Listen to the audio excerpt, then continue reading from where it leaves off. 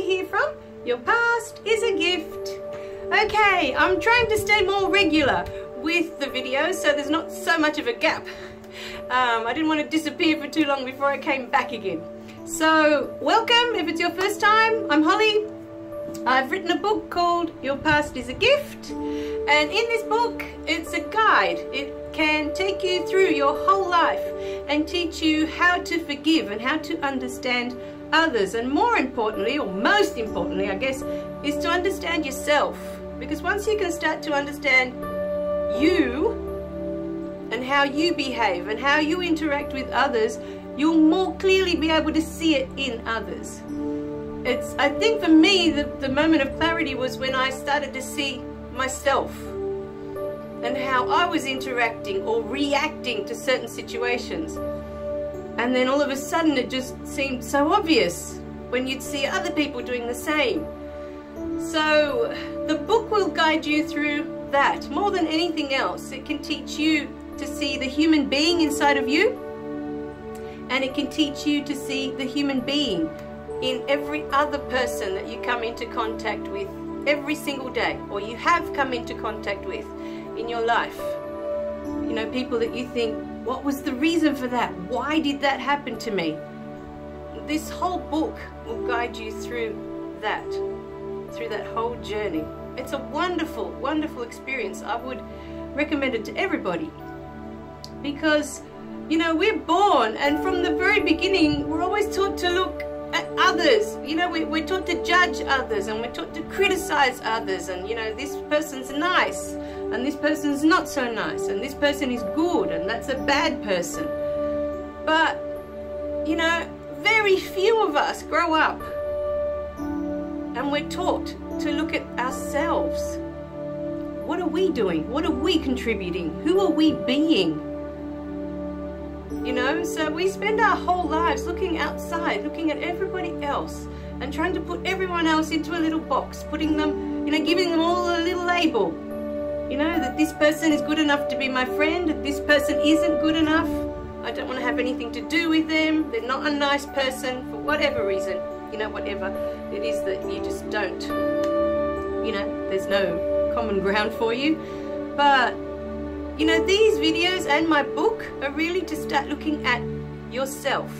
You know, it's funny, I've been thinking the last few days, we're taught, you know, when I was little, I went to church and we were taught you know, one of the um, commandments is thou shalt not kill. You know, that's, that's a bad thing, apparently. You know, you can't kill another person. And yet, when we do it in the name of war, it's totally acceptable. You know, so really the, the next few videos I wanted to touch on is our beliefs, why we believe the things that we believe, our thoughts, why we you know, get stuck into certain patterns, you know, our thoughts, you know, you find thoughts that keep coming back all the time. They just repeat and repeat and repeat. And it's like they're on autopilot, you know, you just can't seem to get off that train of thought that keeps coming back and it just sabotages that area of your life. Whether it be that you're not good enough to have, you know, a nice partner, someone that'll treat you with dignity and respect, someone, you know, that will love you for who you are.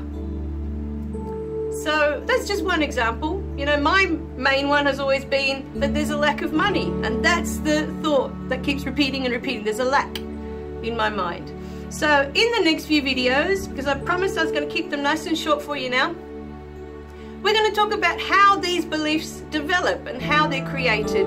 And, you know, hopefully by the end of it, we'll be able to get off that track and onto a new track that we can create, you know, a completely different life, if that's what we want.